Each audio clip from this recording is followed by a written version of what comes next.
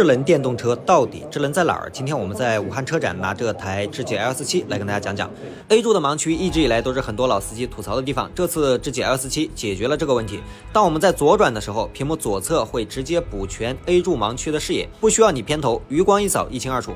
那么同样的啊，老司机都知道，右方的后视镜同样存在一定的盲区。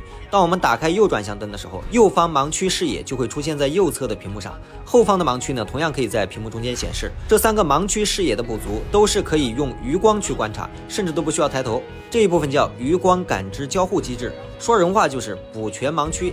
这确实是非常有用的安全类智能配置。我个人认为电车走这种智能方向是对的。先不说好不好用，起码是在想办法提升驾驶安全。那除了这些以外，智己 L 四七呢也有一些趣味性的智能配置，比如说路上遇到同款车，它会提醒你打个招呼，还有智能导航的光效引导、数字宠物等等。所以现在电车上的大屏幕啊，不要仅仅只是为了所谓的科技感，人车交互呢也非常重要。说了这么多，你可能会问，那智己 L 四七跟蔚来 ES 六之间怎么选？嗯，你可以自己对比一下，智己 L 四七车身和空间都更大，而且用料更好，空气弹簧和电磁减震这两个东西带来的驾驶感受啊是非常明显的。而且更重要的是，L 四七六百公里续航，三十二点九八万。再看蔚来 ES 六，整车起售价三十六万八。